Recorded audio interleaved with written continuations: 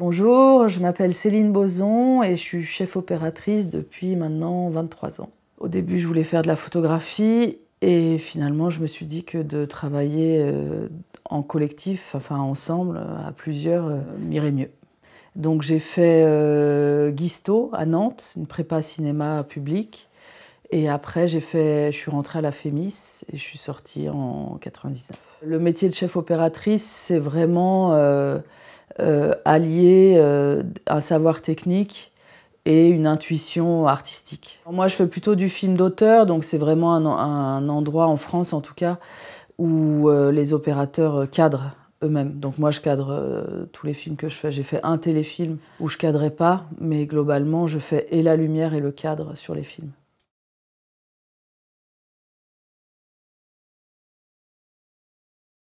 À chaque metteur en scène, metteuse en scène, euh, il y a un nouvel enjeu, puisque par définition, on est des, personnes euh, singulières.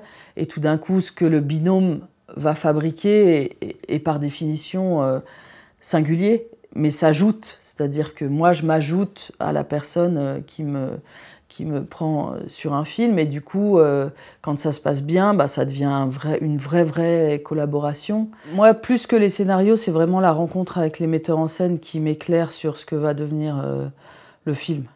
parce qu'un scénario, en vrai, ça peut devenir du cinéma ou pas. Parce que le cinéma, c'est quand même des plans, c'est de la durée, c'est du montage, c'est du temps. c'est très concret. Et, et le scénario, ça reste des mots, quoi.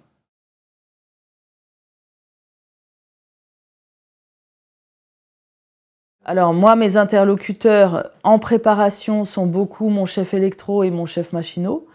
Euh, je dis, euh, enfin ça peut être une femme hein, évidemment. Avec un chef électro et un chef machinot, on fait des repérages techniques. Donc on va voir les décors, euh, que ce soit en studio ou en décor naturel. On réfléchit à comment on va éclairer ça en fonction de l'heure de la scène, de l'ambiance qu'on veut obtenir, etc.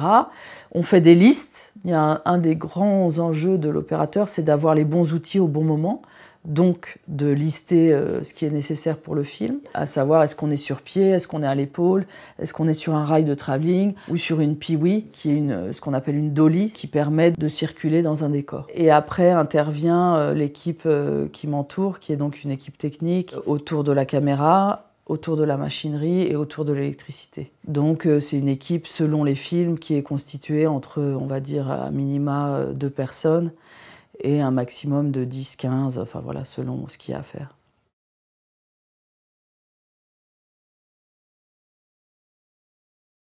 La première question, c'est est-ce que c'est un décor euh, réel ou est-ce que c'est du studio? Donc en studio, on, compose la lumière complètement euh, de A à Z, puisqu'elle n'existe pas. Et en décor naturel, donc dans des endroits comme cet appartement, comme euh, euh, enfin voilà, il y a plein de décors euh, possibles. Il faut faire avec la lumière du lieu, donc qui existe déjà, que ce soit en jour ou en nuit.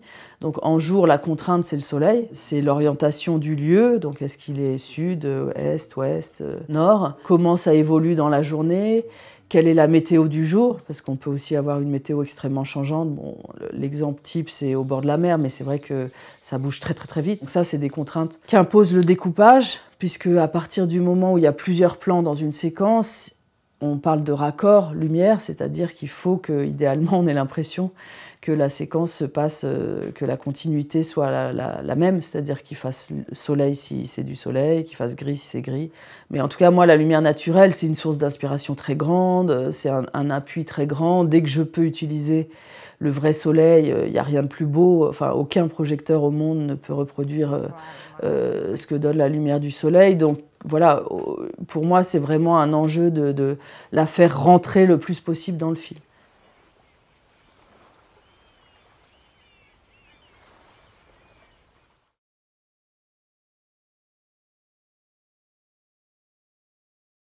Il y a des metteurs en scène qui découpent en amont, où on va même jusqu'au storyboard, donc une sorte de précision de cadre, où tout est un peu anticipé, euh, euh, et où les acteurs, entre guillemets, rentrent euh, dedans. Et puis, il y a des metteurs en scène qui sont beaucoup plus ouverts à, ce qui se passe et à l'invention du moment. Donc là, vraiment, à chaque fois, ça s'invente. Il n'y a pas de méthode.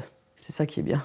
Alain Gomis, par exemple, ou Tony Gatliff sont vraiment des metteurs en scène qui euh, mettent des situations en place et la manière de les capter, l'énergie qu'on capte est très liée à la situation qu'ils mettent en place. Alain Gomis, par exemple, sur Félicité, lui, il mettait vraiment en place un événement ou une fête ou un, un, endroit devant la caméra et à l'intérieur de ça, on avait une sorte de liberté dans la manière de le saisir parce que j'étais à l'épaule, c'était des prises très très longues. Donc voilà, ça c'est une manière de mettre en scène euh, particulière.